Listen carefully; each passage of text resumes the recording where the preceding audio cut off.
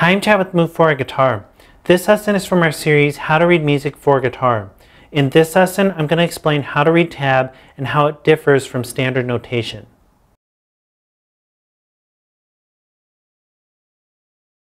First off, if you like all the diagrams for this series, including the diagrams for this lesson, you can download our free e-guide, How to Read Music for Guitar.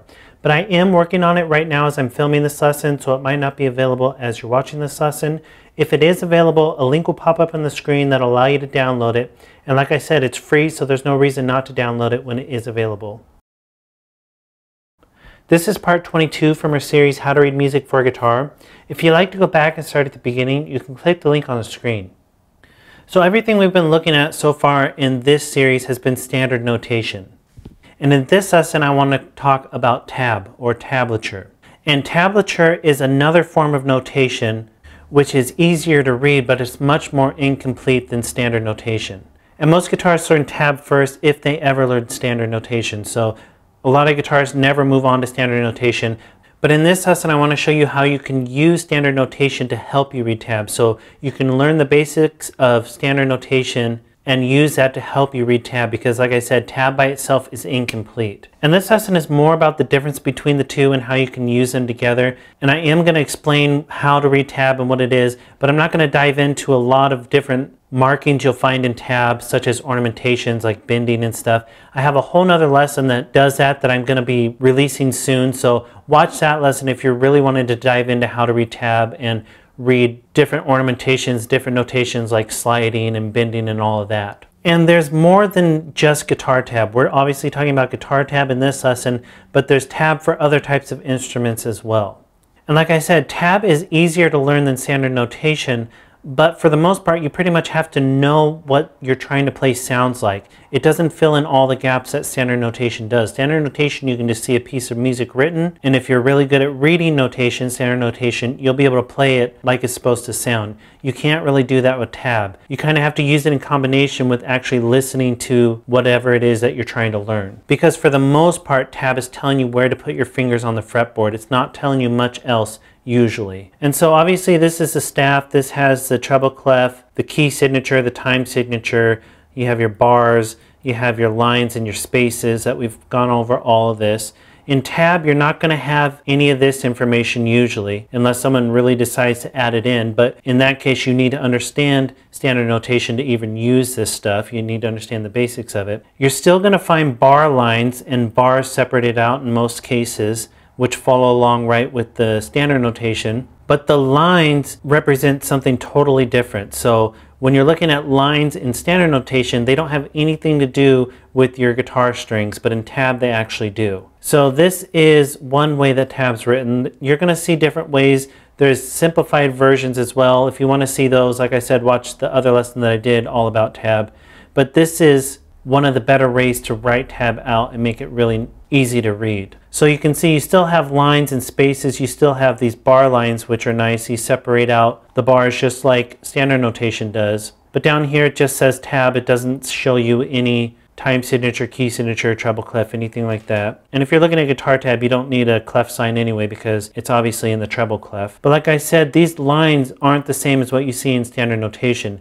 These lines actually represent your guitar strings. So there's six lines and every line represents one of your strings. And the way it's written is with your sixth string here and your first string here. So in between are your five, four, three, two, and then your one here, six here, like I said. And that's easy to read if you've been watching this series or other series that I've done where I've shown you guitar fretboard charts. They're turned the same way. But if you're not used to that, it's kind of weird because you would think that your sixth string was here and your first string was here, but it's the opposite of that. And so here's an example again of standard music notation. This is an A note. It gives you the clef, it gives you the time signature. There's no key signature showing, which would mean that it's in the key of C or A minor or it just might not be in a key signature because the notes don't really fit well within one key. And this is a whole note. It's telling you how long to hold your note out and in 4-4 time you would know that's 4 beats, which would last a whole measure if you had your bar lines drawn. And with this, you have multiple options on your fretboard where to play. You could play here, here, here, here, because these are all unison notes, they're the exact same note. And when you're just looking at standard notation, you have no idea which one of these is meant to be played. It's really up to you to decide where it works best. In tab, that's different. In tab, it specifically tells you what place on your fretboard to play. So now looking at tab, again, these are your guitar strings. This two right here is telling you that on your third string right here, to play the note in the second fret, which would be right here on your guitar. So with this, you don't have your unison options like you did with standard notation. You can always move it to unison locations. That's up to you if you want to do that. But the reason tab is usually written out in specific spots is because maybe it sounds best there. Maybe that's where the artist originally played it. Because certain things sound better on different spots on the guitar, even if you're playing unison notes, just because of the thickness of the strings and the vibration of the strings and all that. So if we were to look at something like this, this would be telling you your first note is your open E string because zero means open. So anytime you run across a zero on a string, that means you play it open. This would tell you that you're playing the note on the first fret on the third string. This would be the second fret on the third string, third fret on the second string, second fret on the second string, and so on. Those are what all the numbers represent and they're all representing strings. So these lines represent strings, the numbers represent frets. If you see a zero, that means play the string open. So that's really easy to understand how that works. It's a lot easier to understand the music notation, but this is really incomplete. If you were to look at this, you would have no idea what your rhythm was. You wouldn't know how long to hold any of these notes. You wouldn't know what your time signature was unless someone had written that into the tab, but most people don't. So it's really incomplete. So to be able to play this correctly, you'd have to actually hear the piece that you were trying to play. So then you would hear the piece and then you would use the tab to make it easy to find where all those notes were, but you'd really have to listen to that piece to hear the rhythm, hear how all the notes are hold out and all of that. And that's actually why learning the basics of standard notation really helps you to read tab. Because you could learn the basic rhythm and note values of standard notations and understand rests, understand key signatures and time signatures.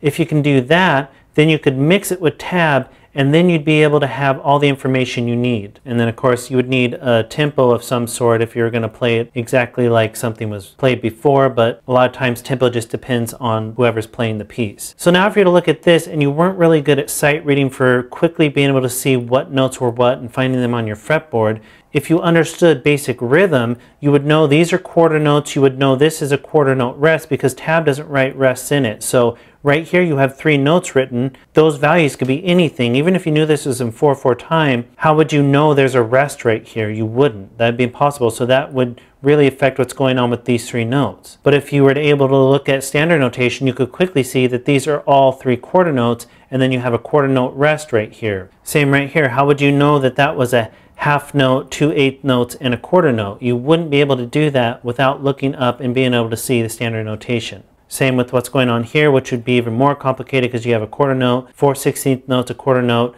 a 16th note rest, an 8th note, another 16th note rest. That'd be impossible just by looking at this to know that that was going on right here. Or you could look here and you could guess that that was a whole note because there's only one written in there, but you don't know if that was just a quarter note with rests in it. But if you just do a little bit of studying with standard notation, it's pretty easy to quickly learn note values and then you can mix that with the tab and then you have, like I said, all the information you need. You wouldn't necessarily have to listen to the piece to be able to play this. Now there are times where you will see some rhythm written out in tab, which it usually looks something like this. And it's a little tricky to read. For example, this is representing a quarter note. This is a quarter note. This is a quarter note. This right here is a half note. So this line is drawn shorter than the quarter note lines. This looks like an eighth note, two eighth notes together, so that's pretty easy. This looks like four sixteenth notes together, that's pretty easy. And this is easy to tell because it has one flag just like an eighth note but it's kind of tricky when you're just looking at lines and different lengths. That can be tricky to read quickly. And this gives you more information than just standard tab, but still it's not showing rest, so it's a little tricky. It would take some work to figure out what these note values were. You can add these up and go, oh, that's three quarter notes, so this must be a quarter note rest because there's nothing there, and go through like that. But that's hard to do quickly when you're just looking at something like this. And still, you're typically not going to have a time signature that you could see or a key signature. You'd have to go through and see where all these notes were and then figure out what key it was. So Even though this is better, it's still not as good as standard notation, but it's definitely worth being able to read this as well. So like I said, if you really want to dive into tab and how to read more of the notation that can be on tab, check out my other lesson, how to read guitar tab, and that'll really help you out. Like I said, this lesson I really wanted to be the difference between tab and standard notation and how you can use them together. So that's the difference between guitar tab and standard notation. Go to move on to the next lesson where I'm going to talk about rhythm notation. And be sure to download the e-guide. All the diagrams are in there. And be sure to subscribe because we have at least one new lesson every day.